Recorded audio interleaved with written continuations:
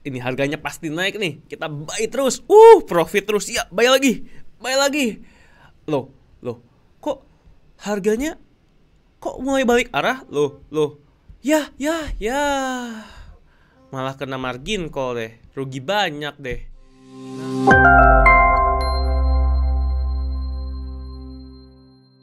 Nah, apakah kamu salah satu yang sering mengalami hal seperti tadi? Ketika kita yakin banget trennya lagi naik, tahu-tahu tiba-tiba berubah jadi tren turun.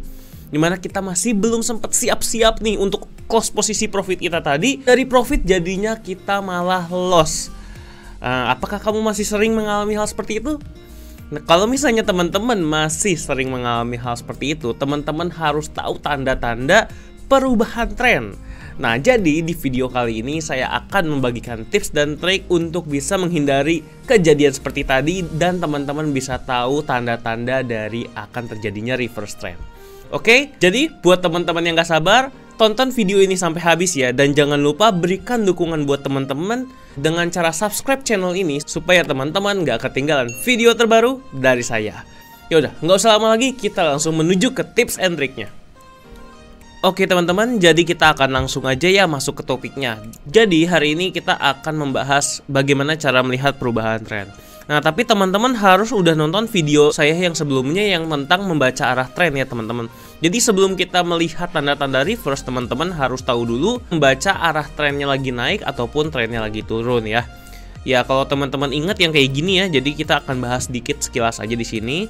Yang kalau misalnya trennya lagi naik, itu seperti ini ya jadi di sini kita bikin dulu acuannya. Ini adalah titik low-nya atau titik harga murahnya ya. Terus di sini ada titik acuan harga mahal H ya. Nanti titik acuan yang berikutnya si puncak-puncak dan lembah yang berikutnya ini ini kita bisa namakan acuan baru. Ini kan titik harga murah yang baru ya atau low yang baru. Nah, karena low-nya lebih tinggi dibandingkan low yang sebelumnya, maka kita tandai dengan nama higher low ya atau harga murah yang lebih tinggi dibandingkan low yang sebelumnya ini. Ini juga sama high yang lebih tinggi dibandingkan titik acuan harga mahal yang sebelumnya yang ini ya teman-teman. No. Nanti ini tinggal kita copy tinggal kita copy aja. Ini teman-teman udah jadi ya. Jadi di sini kalau teman-teman lihat terbentuk kombinasi apa? Ada higher low, ada higher high, ada higher low, ada higher high. Jadi kalau terbentuk higher low, higher high, higher low, higher high ini adalah tren naik ya. Sebaliknya kalau tren turun juga kita bisa namain seperti ini ya teman-teman. Ini adalah titik mahal, ini adalah titik murah. Lalu kalau di sini kita namain apa nih? Ini adalah high atau harga mahal yang lebih rendah dibandingkan yang sebelumnya ya. Jadi ini lower high.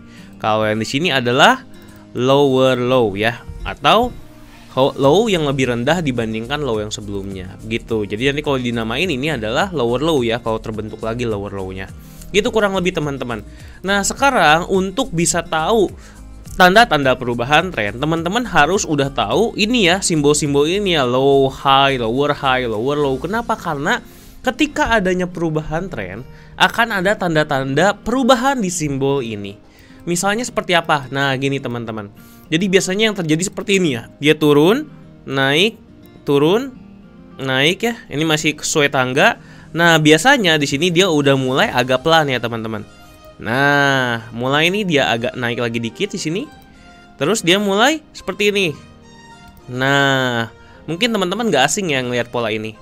Naik, turun, naik, turun, naik ya.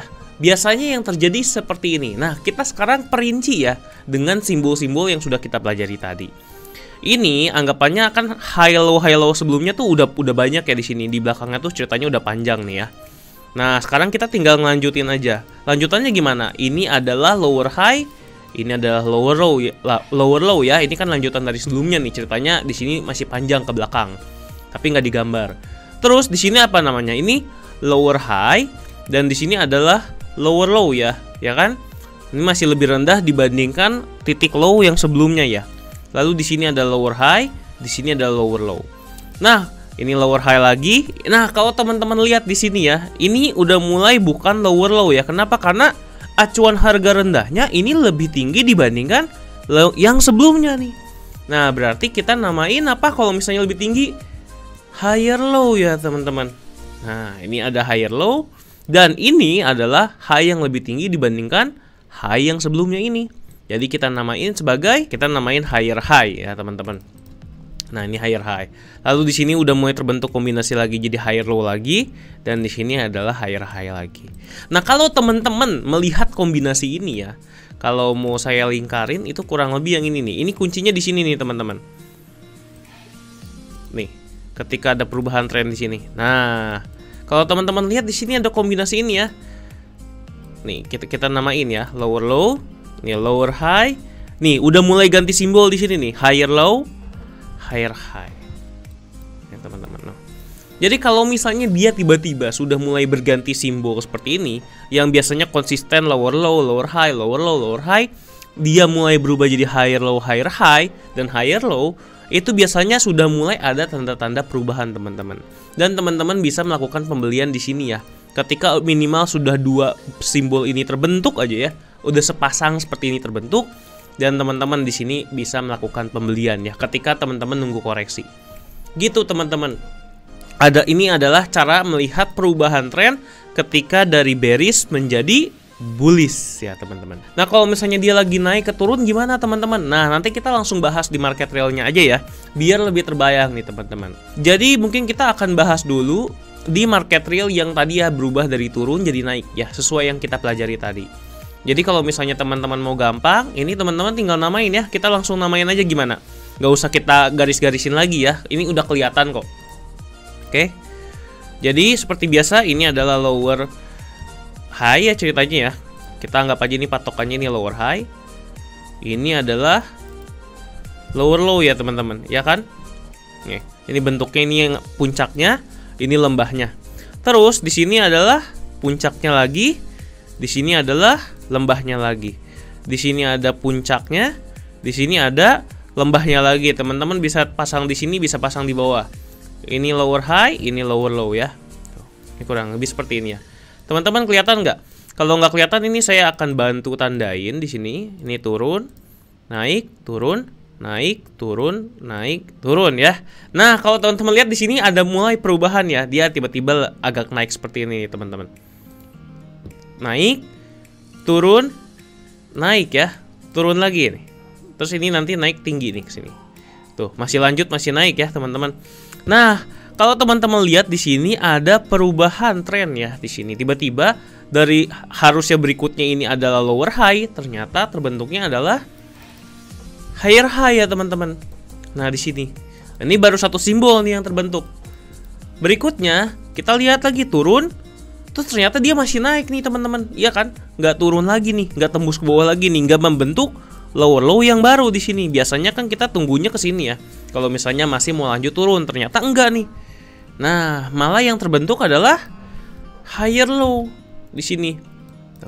Jadi teman-teman di sini udah mulai nih ada tanda-tanda nih teman-teman lihat wah. Kalau seperti ini saya mendingan melakukan buy aja. Udah berubah kalau sebelumnya teman-teman ya sell terus, kita short terus, sell sell sell supaya profit. Kalau di sini teman-teman udah mulai harus shifting. Wah, ini sepertinya sudah ada perubahan tren dari turun jadi naik. Nah, teman-teman bisa melakukan pembelian ya. Untuk pembeliannya teman-teman lihat, ini kan sebenarnya dia udah naik ke sini ya. Terus dia terus dia ada turun lagi ke sini. Nah, harusnya teman-teman bisa melakukan pembelian di sini nih, teman-teman. Karena di sini udah confirm nih udah naik. Ini sebenarnya bi e, bisa jadi ini adalah higher high-nya ya, tuh. Gini. Jadi ini enggak. Nah, jadi harusnya seperti ini nih, tuh. Tuh. Nanti lanjut lagi seperti ini. Kalau teman-teman lihat lebih detailnya kayak gini. Jadi di sini teman-teman udah bisa melakukan pembelian nih. Ketika dia naik lagi terus turun, teman-teman bisa melakukan pembelian di sini. Nah, gimana teman-teman? Udah paham belum? Jadi pokoknya ingat ya, pokoknya ketika dua simbol sudah mulai ada, teman-teman sebenarnya sudah bisa melakukan open posisi buy. Kok kalau misalnya kita buy di higher low ini bisa nggak? Bisa-bisa aja sebenarnya. Cuma kan kita harus memastikan dia ini higher low dulu ya. Maksudnya terbukti higher low gimana? Kalau misalnya dia masih lanjut gini gimana? Kalau saya sih lebih baik dia saya sih nunggu ke atas dulu biasanya. Terus udah gitu koreksi dulu sedikit, baru saya akan melakukan open buy. Jadi kalau saya sih akan melakukan open buy-nya di sini nih, ketika dia turun yang kedua kali di sini. Apalagi dia nggak bisa tembus higher low yang ini kan. Nah itu akan makin mengkonfirmasi lagi untuk saya melakukan open posisi. Nah itu adalah contoh perubahan dari trennya turun berubah menjadi tren naik ya teman-teman. Nah sekarang kita coba perubahan yang tadi ya, tren dari naik jadi tren turun. Nah ini ada di sebelahnya ya. Nih sebenarnya tinggal kita lanjutin aja. Oke kita hapus dulu ya si garis ini. Ini udah ada tandanya juga nih, udah kita tandain ini, ini lower high, ini lower low. Ini kita hapus dulu aja. Ya. Nah, sekarang kita bisa lihat tanda ini dari sini ya. Ini adalah titik low kan? Ini adalah titik low-nya. Ini adalah titik high. Ya, teman-teman. Atau sebenarnya kita bisa tandain di sini juga, ya. Terus di sini ini adalah low, higher low ya. Ini adalah higher low, di sini adalah higher high Nah, ini kita tinggal copy-copy terus aja nih. Ini higher high, ini higher low, ini higher high lagi, ini higher low lagi, ini higher high, ini mulai ini higher low, ini higher high. Nah, di sini udah mulai berubah ya. Ini adalah lower low ya, karena lebih rendah dibandingkan low yang ini yang higher low ini. Terus di sini juga makin terbukti lagi ini adalah lower high. Lower high karena lebih rendah dibandingkan high yang sebelumnya ini ya teman-teman. Nah jadi kalau misalnya teman-teman lihat di sini ini tinggal lanjutannya aja. Ini lower high, ini lower low.